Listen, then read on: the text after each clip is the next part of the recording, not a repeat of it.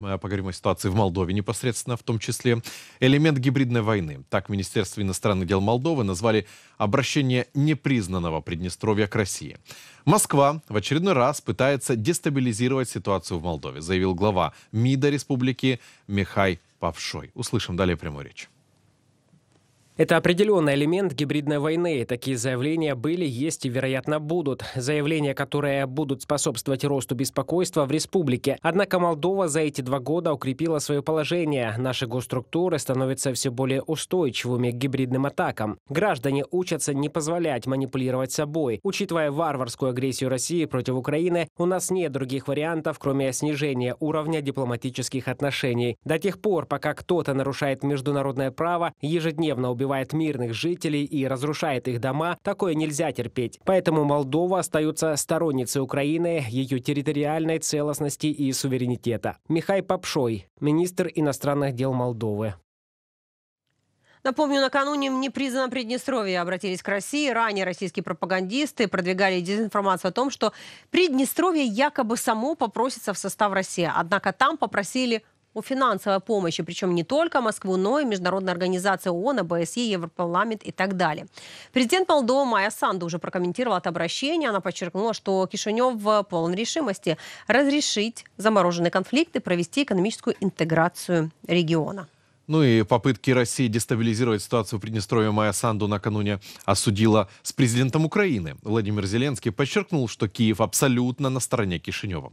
Оба лидера также отметили, что интеграция Украины и Молдовы в Европейский Союз является общей целью двух стран. Более подробно эту тему обсудим с нашим следующим гостем. На связи Александру э, Тенасе, министр юстиции Молдовы с 9 по 11 год, и 2018 год, председатель Конституционного суда Молдовы с 11 по 17, экс-член Венецианской комиссии. Мы очень рады вас приветствовать. Здравствуйте. Добрый вечер. Мы очень много говорили о непризнанном Приднестровье в эфирах, но от вас, Александр, очень хочется услышать видение с Молдовы э, касательно вот всех этих заявлений, которые по факту оказались просто фарсом. Надо отметить, что молдавские власти не воспринимали всерьез эту информацию. Э, вице-премьер-министр, э, который отвечает за процесс реинтеграции молдавских территорий, которые сейчас находятся под российской оккупацией на левом берегу Днестра, он изначально объявил, что эта информация не подтверждается. Тем более э, эту информацию не подтверждали ни наши украинские партнеры и коллеги. Если вы заметили, даже президент Зеленский в своем заявлении тоже сказал, что у согласно той информации, которой он обладает, э, такого рода э, действия со стороны Приднестровья предприниматься не будут. Но, тем не менее, все относились э, с, определенным, с определенной настороженностью и тревожным ожиданием. Дело в том, что после последних публичных заявлений российского президента Владимира Путина абсолютно становится очевидным, что от этого человека можно ожидать чего угодно, и не обязательно его действия должны вписываться в какую-то здра- э, какой-то здравый смысл и какую-то логику. Но на самом деле э, Приднестровье они очень хорошо э, в течение 30 лет лавировали между своими собственными финансовыми интересами и между Киевом и Москвой. Сейчас они продолжают примерно ту же игру. Они не хотят ставить себя в невыгодное положение, они не хотят участвовать в этой войне, они понимают, что жители Приднестровья э, не поддержат э, участие в этой, в этой войне, поэтому они пытаются как-то сыграть на двух концах. С одной стороны, и послать месседж, что мы еще существуем, и мы противимся так называемым молдавским действиям по установлению экономической блокады. Но с другой стороны, с другой стороны, они не хотят с Кишиневым портить отношения. И это абсолютно очевидно, становится из той резолюции, которые приняли депутаты в Тирасполе, которая на самом деле лишена любого содержания. Какие-то пустословные, голословные заявления, какой-то помощи, я не знаю, там в Красный Крест, э, ООН, э, Госдуму Российской Федерации, не знаю, кого там еще.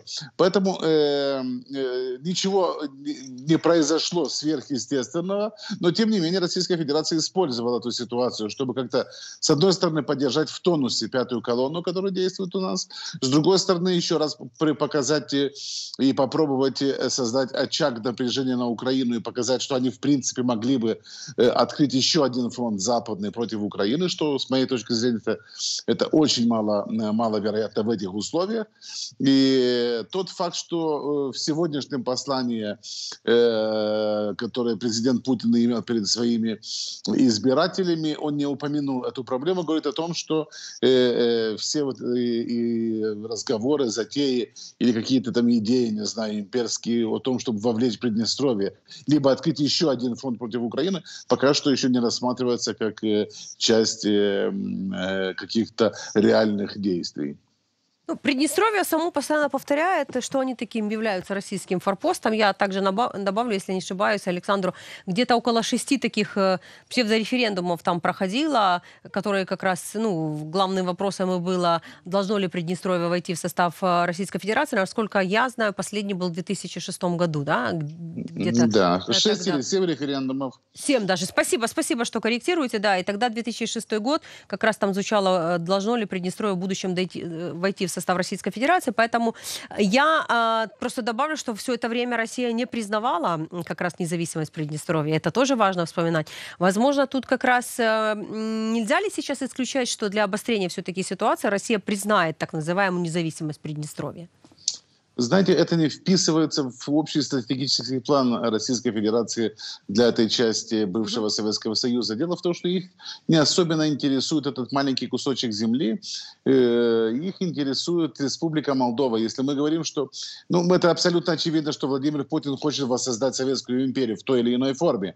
И, и им нужна бывшая Бессарабия, Бессарабская губерния или нынешняя Республика Молдова. Поэтому, скорее всего, Приднестровье рассматривается как инструмент для того, чтобы заполучить получить все, а не просто кусочек земли. Потому что этот кусочек земли ничего им не даст, его невозможно обеспечить ни с точки зрения экономической, ни с точки зрения военной, потому что Украина не позволит этого сделать. Поэтому, э, да, они всегда, всегда каким-то образом э, оставляли э, такое ощущение, что они будут признавать э, независимость Приднестровья. Были, был ряд таких очень жестких заявлений Затулина и Э, э, Жириновский очень часто на эту тему высказывался, но э, официальная Москва, она всегда пыталась впихнуть как-то это, это Приднестровье, потому что они получали бы возможность влиять на, на, на внутреннюю ситуацию и на внутреннюю политику в стране. Конечно, все поменялось после 24 э, э, февраля 22 года. Все абсолютно, в том числе и в Приднестровье. Вот, те иллюзии, которыми мы жили в течение 20 с чем-то лет, что границы не непоколебимы, что э, все-таки существуют определенные нормы международного права. Сейчас все это стало абсолютно очевидным, что э, для российского диктатора это пустые слова. Поэтому, э, конечно, мы можем в какой-то перспективе ожидать смены оптики, но на данном этапе тот факт, что они настаивают на возобновлении формата 5 плюс 2, на участие в ОБСЕ, где, конечно, Россия имеет право вето и всегда использовала это право вето для того, чтобы сделать, э, обеспечить себе более выгодную позицию. Все эти элементы говорят о том, что Россия не отказалась от идеи угу. заполучить всю Республику Молдова. Ну, то есть вы не исключаете, Александру Константинович, что также могут, э, ну, и ожидаемые все-таки определенного характера проблемы и в Гагаузской автономии на юге Молдовы? Ну, гагаузская автономия – это вообще такая пародия на автономию. Она была создана Москвой из тех же имперских, э, э имперских э, национальных э, меньшинств. Э, они действовали в Гагаузии примерно так же, как они действовали и в, э, э, в Грузии, в Абхазии, в Осетии, как они действовали в Приднестровье, ну и позже, конечно, уже и э, в, на, на Донбассе и в восточных регионах Украины, которые они сейчас оккупировали. Стратегия была примерно, примерно та же же. Э, дело в том, что Гагаузия чисто географически, э, а, ее невозможно, ее невозможно отделить от Республики Молдова. Там нет просто возможности технически это сделать, с одной стороны. С другой стороны, это очень маленькая народность. Я вам скажу так, что э, каком-то микрорайоне города Кишинева проживает больше людей, чем во всей этой, этой автономии. Поэтому э, как, ритори, как риторику и как политический фактор давления они, конечно, это всегда использовали, но как реальную угрозу для Кишинева никогда Гагаузия не представляла. Единственная реальная угроза для нашей безопасности было и остается Приднестровье из-за того, что там находятся оккупационные российские войска, из-за того, что там огромные запасы оружия. И, э, к сожалению, к сожалению, в течение двух десятилетий молдавские власти не всегда предпринимали нужные, необходимые отношения, чтобы эту проблему решить. Но сейчас все поменялось. Дело в том, что э, э, э, не зря Москва пытается вбить клин между официальным Кишиневым и Киевом это, это очень важно для Москвы, что если они смогут разрушить нормальные отношения между нашими странами, тогда они получают снова возможность каким-то образом использовать вот эту карту Приднестровья. И я очень рад, что и президент Зеленский, и президент Майя Санду э, очень, очень разумно подходят и справляются с теми вызовами, с теми провокациями, которые э, э, э российские спецслужбы, российские власти пытаются как-то постоянно э, э активировать в нашем регионе.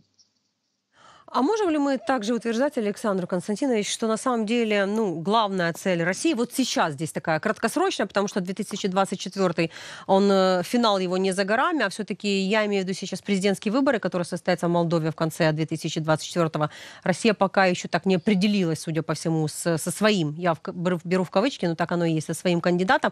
Нашим зрителям также добавлю, 2024 это не только год э, выбора президента в Молдове, это также еще и референдум об отношении отношении как раз граждан к вступлению Молдовы в ЕС. Поэтому, может, все-таки ключевая цель – это политика и это президентские выборы в Молдове? Ну, ключевая цель, я думаю, что да, это взять под контроль политические процессы в стране. Я думаю, что это никто, этого никто не скрывает. И на самом деле э, президент Путин пытался то же самое сделать и в Украине, когда он назначал своего марионеточного президента э, Януковича, когда, он, э, когда они начали все процессы по территориальной дезинтеграции Украины, имея в виду 2014 год по оккупации Крыма, все эти вещи имели конечную, конечную цель взять ее под контроль политической ситуации. В конечно, основным противником и основной целью является президент Майя Санду. Это, это они даже не, не скрывают. Э, они понимают, что пока Майя Санду находится во главе государства, э, никакого разворота в сторону России не произойдет. Они пытаются, конечно, выявить сейчас какого-то э, молдавского Медведчука, на которого поставить. Это, это довольно сложная процедура, потому что э, настроения в обществе после начала войны очень сильно поменялись. Если до войны у нас было довольно э, солидное большинство людей, которые с симпатией относились к тому, что делает президент Путин, конечно, э, после того, что мы увидели, что, за те бесчинства и те преступления, которые они творили в Украине, э, э, это, это повлияло и очень многие освежило умы. И не так легко найти какого-то кандидата, который был бы, или который бы открыто каким-то образом поддерживал э, э, повестку Дня Москвы. Его просто не существует. Есть бывший президент, э, бывший президент Дадон, но э, я не думаю, что он э, сможет, смог бы даже гипотетически э, составить конкуренцию Майо Санду. Поэтому выборы, конечно, выборы, которые должны произойти в этом году, президентские, они являются очень важными, но все-таки, скорее всего, э, основной э, стратегической задачей будет взятие власти не на, не, в, не на президентских выборах, а на парламентских. Поэтому эта многоходовка, она довольно э, э сложно устроена. Э, мы видим элементы гибридной войны, мы видим четко, чего хотят добиться российские власти. И, но мне кажется, что молдавские власти довольно, довольно хорошо справляются с этой ситуацией и сделают все, чтобы этого не допустить. Но также еще возникает вопрос – а можно ли сейчас продумать стратегические действия наперед? Ведь э, мы прекрасно понимаем, что вот это возвращаясь к тому заявлению э, съезду депутатов непризнанного э, Приднестровья, э, ведь это же может быть таким себе информационным прощупыванием на будущее. Э, Российская Федерация также это может делать для того, чтобы как-то, знаете, пугать, что ли, страны Европейского Союза, либо те страны, которые ну, э, либо те страны соседствующие, грубо говоря, и союзники параллельно Украины? ну, Российская Федерация активирует все очаги Мгм. нестабильности, начиная с, я не знаю, сектора газа, э, сирийской, э, сири- сирийском регионе и так далее. Поэтому э, я не думаю, что Молдова может составить какое-то исключение. Но мы все прекрасно должны понимать, что э, Республика Молдова сама себя не в состоянии защитить. Поэтому э, безопасность Республики Молдова зависит напрямую от того, как будут идти и двигаться дальше э, события на, э, на фронте российско-украинских военных действий. Мы все прекрасно понимаем в Кишиневе, все прекрасно осознают, что пока Украина воюет, пока украинцы сражаются и не, не, не, позволяет, э, не позволяют э, оккупантам двигаться на Запад, у нас есть шанс выжить. И также мы прекрасно понимаем, что если, не дай бог, Россия э, смо- смогла бы достичь каких-то, я не знаю, стратегических своих задач и э, ликвидировать украинское государство, естественно, Республика Молдова, она бы в течение двух дней э, перестала бы э, существовать. существовать. Поэтому э, наш альянс, политический альянс, он не писанный, но он виден между Молдовой и Украиной, он э, натуральный, потому что э, мы зависим напрямую от того, что здесь происходит. А что касается э, действий Москвы, ну, они всегда прибегали к разного рода пакостям и разного рода э, манипуляциям для того, чтобы э, как-то э, обеспечить себе более выгодную позицию. Я не исключаю тот факт, что вот, э, вся эта информационная шумиха, которая была э, в прессе, в основном в западной прессе, российской прессе в течение прошлой недели о том, что они вот будут проситься в состав Российской Федерации, это было направлено, чтобы как-то показать западным э, партнерам, которые поддерживают Украину, что э, да, вот у нас есть еще инструменты, которые мы могли бы задействовать. Также, и, может быть, и украинскому истеблишменту показать, что мы вроде бы как-то смогли бы открыть еще один фронт. Но если мы откинем всю эту шелуху и по- посмотрим на факты, э, они указывают на другое. На самом деле это очень маловероятно, что технически возможно обеспечить сегодня на данном этапе. И я очень надеюсь, что ситуация не поменяется ни, в худшую сторону.